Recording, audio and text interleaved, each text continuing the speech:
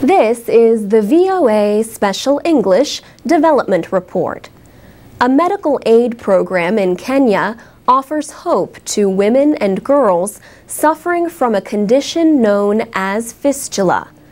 About 2 million women and girls worldwide have the condition.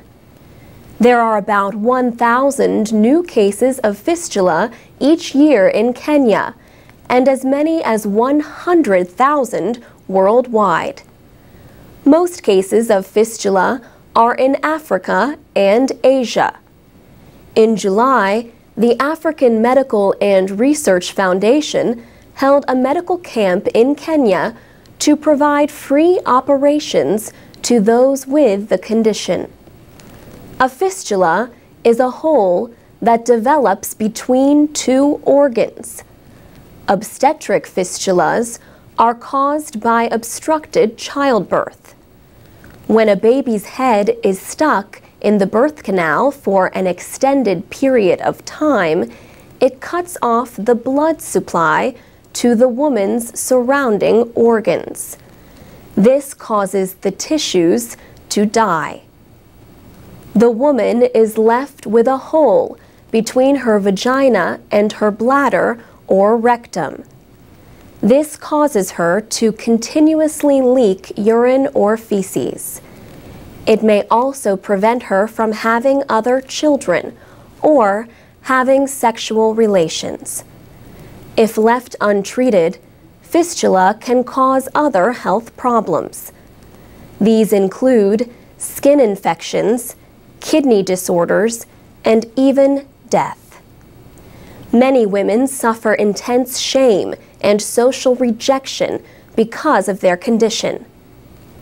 Rose Opio developed fistula during childbirth 23 years ago. She said, I had many problems.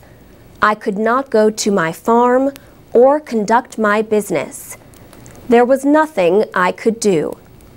When you have this kind of a problem, you can only take care of your body. There is nothing else you can do. People hated me.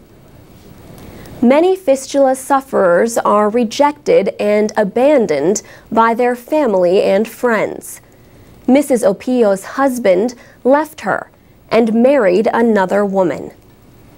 Mrs. Opio was among the women who visited the free medical camp in Kenya to have operations to correct their condition. The World Health Organization says the simple operation can cure up to 90% of fistulas. The organization also says fistula can largely be prevented. It advises girls to delay their first pregnancy until their bodies have fully developed. This reduces the risk of long and obstructed childbirth. The organization also calls for an increase in quality health care and an end to harmful traditional practices like female genital cutting. And that's the VOA Special English Development Report. Transcripts, MP3s, and podcasts of our reports are at voaspecialenglish.com.